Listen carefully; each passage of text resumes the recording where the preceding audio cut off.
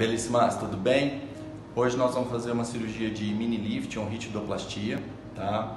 Essa é uma senhora, a idade de 72 anos, ela é hipertensa controlada, tá? E nós vamos então, optamos pelo mini lift modificado.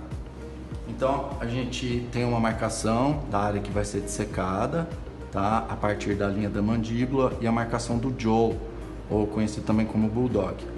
Então, essa é a área onde vai ser dissecado, uma incisão contornando a orelha e descendo o pé do cabelo. Tá?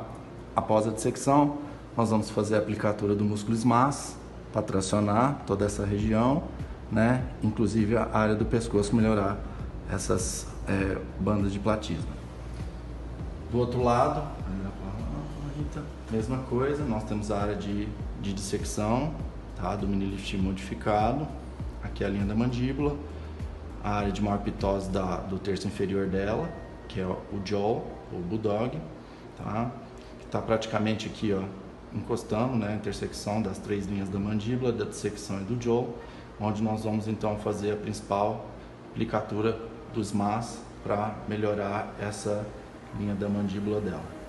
A gente continua a aplicatura para a parte superior e também região de pescoço.